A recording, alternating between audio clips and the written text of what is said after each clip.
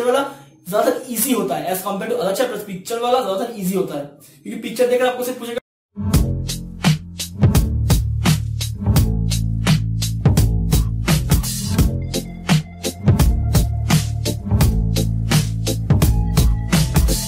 wish I found some better sounds no one's ever heard. Hi guys Akash and you are watching Akash talk so particularly मैं इस video में history का specific paper या फिर बोल सकते हो ये स्पेसिफिक पेपर नहीं है ये एक ईयर का ही पेपर है बट ये लेकर मैं आपको थोड़ा बहुत टिप्स देने वाला हूँ, या फिर बोलने वाला हूँ कैसे हम ज़्यादा मार्क्स इंक्रीज कर सके, या फिर कौन सी पोर्शन से हम ज़्यादा मार्क्स इंक्रीज कर सके। तो ये अगर आप ये पेपर देख पा रहे हो तो अगर थोड़ा जूम करके दिखाया जाए तो मेरे ख्याल से आप देख पा रहे हो। तो ये ये पेपर पेपर का पिक्चर भी मैं, या फिर ये पेपर का पिक्चर भी मैं इंस्टाग्राम में पोस्ट कर दूँगा।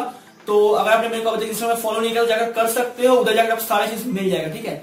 तो यार, अभी हम आते हैं वीडियो में, या फिर जो चीज़ मैं आप लोग आप लोगों को बोलूँगा। तो यार, ये वीडियो स्टार्ट करने से पहले मैं ये हिस्ट्री में लास्ट मिनट सेशंस का एक ऑलरेडी वीडियो बना दिया और जाकर चेक कर सकते हो, क्योंकि उधर में ऑलरेडी बहुत सारी चीज़ आपको डिटेल्स में बोल दिया। कौन सी पर्सन क्या आता है, कौन सी चैप्टर से ज़्यादा क्वेश्चन आ सकता है, या फिर कौन सी पर्सन ज़्यादा मार्क्स कैरी कर सकता है, ये सारा चीज़ आपको एकदम से बोल दिया था उस पर्टिकुलर वीडियो में। तो अगर आपने नहीं देखा तो ऊपर में कार्ड में लिख दूँगा तो जाकर भी देख सकते हो, या फिर मेरे चैनल पर जाओ, उधर भी जाकर मिल जाएगा, ठीक है? तो ये वीडियो से करने से पहले यार, अगर आप में आप लोग मेरे चैनल पर नए हो, या फिर नए लोग हो तो यार चैनल को सब्सक्राइब कर सकते हो, क्योंकि मैं आईसीसी आईएसपीएस वीडियोस बनाता हूँ। और यार मैं बहुत सारे नोट्स भी ऑलरेडी प्रोवाइड कर दिया हूँ, उधर से जाकर बहुत सारी चीज़ मिल जाएगा, ठीक है? तो यार, अभी हम आते हैं वीडियो में। तो यार जो आप देख रहे हो, या फिर आप लोग तो जानते हो कि आपको section part one and part two में क्वेश्चन आएगा तो पार्ट वन में आपका सिविक्स रहेगा दस मार्क्स का और हिस्ट्री रहेगा बीस मार्क्स का। तो यार, ये शॉर्ट मार्क शॉर्ट क्वेश्चन है और इधर आपको सारे चीज़ अटेम्प्ट करनी है फिर ये कंपल्सरी पार्ट है बोल सकते हो, ठीक है? हमको सारे चीज़ इस पर्टिकुलर पार्ट वन से अटेम्प्ट करनी है जानते ही हो। तो यार मेरे ख्याल से अगर आप सिविक्स अच्छे से जाते हो तो thirty out of thirty marks या फिर थर्टी और थर्टी सिक्योर करना बहुत ही आसान काम है सिविक्स के पार्ट में, सही, ठीक है? क्योंकि सिविक्स में हम thirty soft thirty marks easily confirm या फिर इजिली सिक्योर कर सकते हैं। ऑन द सेंस हिस्ट्री में काफ़ी डिफ़िकल्ट है, काफ़ी डिफ़िकल्ट है एज कंपेयर टू सिविक्स मैं खुद किया हूँ या फिर मैं मेरे को खुद पर्टिकुलर मैं आपके सिलेबस में एग्ज़ाम दिया हूँ दो तीन साल पहले मेरे को 90 परसेंट आया है, इसीलिए मैं ये सारी चीज़ बोल रहा हूँ। मैं एकदम सिविक्स अच्छे से करके जाइए क्योंकि सिविक्स अगर आप लोग अच्छे से नहीं करेंगे तो यार उधर से अगर एक दो मार्क में चला गया ना तो परसेंटेज डाउन जाएगा। ऐसा कुछ नहीं, सिर्फ़ परसेंटेज डाउन हो जाएगा, ठीक है?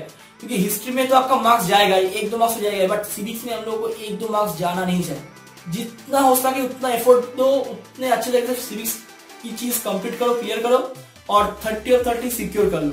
तो इधर पार्ट वन से मेरे ख्याल देख पा रहे हो पार्ट वन से जो सिविक्स का जो पार्ट है, उधर आपको पूरा चीज़ एकदम अच्छी तरीके से कंफर्म हो गया, ठीक है? तो सिविक्स एंड हिस्ट्री तो आपको तो थर्टी मार्क्स पहले पार्ट वन में कंफर्म करनी है।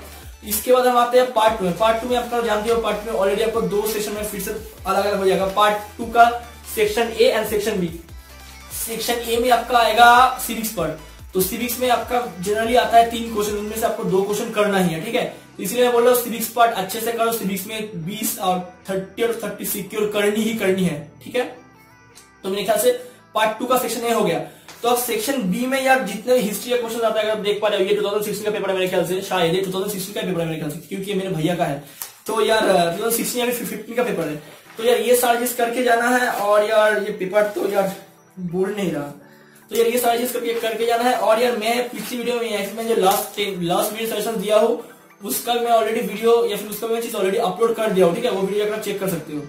तो यार, इधर से आप अगर देख पा रहे हो, एक हर साल एक ना एक पेज या फिर एक ना एक आपका ये चीज़ एकदम कंफर्म रहता है, ठीक है? एक पिक्चर आता है आइधर ये मुसोलिनी का हो सकता है आइधर हिटलर का हो सकता है आइधर यूनिसेफ का हो सकता है आइधर ये नेल्सन का हो सकता है, किसी का भी हो सकता है। इसीलिए मैं जितना भी टिप्स दिया हूँ लास्ट वीडियो में जाकर देखो, मैं ये बोल दिया था आप लोगों को कौन कौन पिक्चर या फिर कौन कौन चीज़ करनी है ताकि उधर से ज़्यादा अगर हम पिक्चर देखकर एटलीस्ट आइडेंटिफाई कर सके। तो इसलिए बोलो नेट से देखो बुक से देखो, इधर से देखो हिटलर मुसोलिनी यूनिसेफ ये सारे पिक्चर देख लो। क्योंकि किसी ने पिक्चर्स आएगा ही में अगर आप पिक्चर वाला करना चाहते हो पिक्चर वाला ज़्यादातर इजी होता है as compared to other chapters picture वाला ज़्यादातर इजी होता है। क्योंकि पिक्चर देखकर आपको सिर्फ़ पूछेगा इस लीडर का नाम क्या है या फिर इस लोग का नाम क्या है, ऐसे करके। लोगो लीडर ऐसे ही, और उसके बाद नेल्सन फेल्सन ये सारे चीज़ क्वेश्चन पूछते हैं। तो यार, मेरे ख्याल से अगर आप पिक्चर थोड़ा बहुत नेट में या फिर गूगल वाला कर लो ना गूगल से जाकर चेक कर सकते हो।